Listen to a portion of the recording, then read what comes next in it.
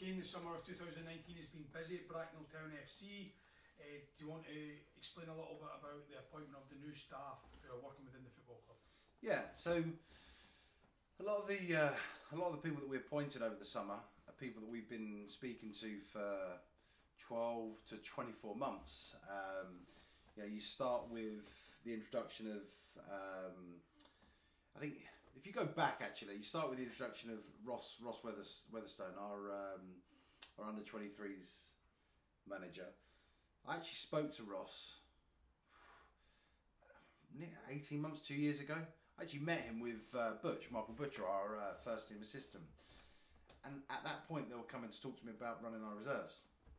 And I'm very much, when I meet people, I stay in touch. And if it doesn't kind of fit, then I was impressed when I met them both at that point, and I thought, you know, this role's not quite right, but let's just mark that and we'll talk again. And me and Ross carried on talking, and we've talked, you know, we were talking relentlessly until you know with the creation of the uh, the international academy. And through that period, I then started meeting other kind of significant local um, kind of UEFA A, UEFA B level coaches um, I met uh, Stedders, Aaron Stedman, our first team coach.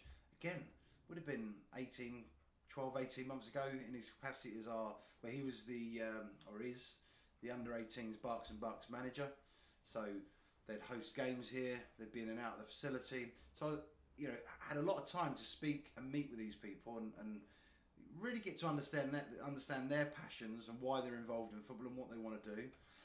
Um, and in meeting all, you know, meeting them all, you know, conversations just carried on rolling for for quite a long long time really, and and um, got to the point, you know, I knew I wanted to make a change, and when that kind of that moment in my head that um, shone bright, and, and when I thought, you know, we we need need to make a change, was kind of we just lost away at Hayes and Yeading. Um, one of our key players left after that game, and I just felt we, you know, as a club, we we needed to make we needed to, to, to make some changes, and that's when all of them conversations I'd had with a number of people. And bearing in mind, I come from a background. I spent 18 years in recruitment, so succession planning, recruiting, speaking to people. That has been my life. Um, well, certainly the first half of my career was spent in that world. So you know, my network and building my network locally has been a big part. And I started to pull together and started to pull conversations in. So there was speculation out there that I was speaking to this person and that person. I've been speaking. I speak to people all the time. I'm always speaking to people, and I just started to, you know, then I, I started to um, as soon as as soon as I knew that Sam was going to be uh, looking come the end of the season, he stepped down at Maidenhead as number two. Uh, well, he, he said he, he put it out there that he was going to be stepping down as number two and looking for, for a number one seat. And I, I kind of looked at that and I thought you're, you're a really good fit. 29 years of age, 10 years at, at um, Maidenhead. He's he's been on that journey with Maidenhead where he's taken them, you know, under as, as a in a number of roles. He's been under 18s manager. Um, he's worked within the club in a number of capacities. Prior to Maidenhead, he was he was at Reading, so he's done a number of roles within football. He's invested a lot of time and energy in himself personally to improve and better himself in football. He's very very committed. He's out watching. I mean, his network and the number of games. That the thing that impressed me the most about Sam was the volume of games the guy consumes in a week. It's just unbelievable.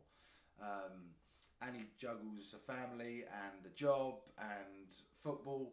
So I was really, really impressed, really impressed with that. And uh, yeah, so you know, going through the leagues and and uh, you know with Maidenhead and he's experienced now the National League with Maidenhead. I thought you know, he's seen that journey above. What does it look like? Because you know, step four is a, a really, really tough one because if you look down from step four, you've got well, you can see step five, six, seven pub football. So you're looking down the pyramid, it's very, very, very, very social. You kind of look up the pyramid. Well, historically, we as a club have always been in that lower half of the uh, the non-league pyramid. So, you know, it um, we needed to bring people in that perhaps saw the other half of the pyramid, the half from four up to the professional game, up to step one. I mean, step one now is pretty much the professional game. It's pretty, you know, it's full time. So I, that's the thing that impressed me most about Sam, is his um, his knowledge of them leagues above, and then everything kind of started to fall into place. Sam knows Aaron. They'd worked together at Maidenhead, so so kind of that you know he put that kind of just naturally happened once me and Sam started speaking. Aaron come into the fold. Um, once the season had ended and we started to make our changes, we was able to speak to, to Butch, the last year's first team coach, um, or assistant coach to, to Jeff Warner, and that that then fitted. So we started to bring together the contacts of all the people we've been speaking to and in discussions with, and they all started to, you know, they they they knew each other, and uh, that it was quite an easy. In the end, it was quite easy to put it all together because they all kind of share the same common goal. And they they certainly share our vision of bringing talent through from within. They they're hundred percent committed to that over the kind of the medium to long term. So you know, great. I'm you know really pleased that we got Sam. Really pleased that uh, Butch stayed on as his as his number two. So he, Butch kind of stepped up. He got a bit of a promotion there, and then Steaders come in as uh, first team head coach. And then below them, um, he got Matt Stannard that's come in as performance, and Matt's been unbelievable. You know, he's uh, he's working on the players' nutrition, hydration. He's brought in uh, a partnership with Surrey University, where we've got two sports science students working within the club, working on you know working on in- injury prevention um, and rehab and recovery. That's been phenomenal to watch that and fitness of, of our of our regular starters.